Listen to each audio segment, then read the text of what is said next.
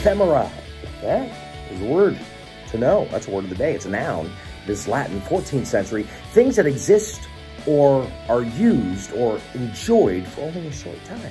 Ephemera.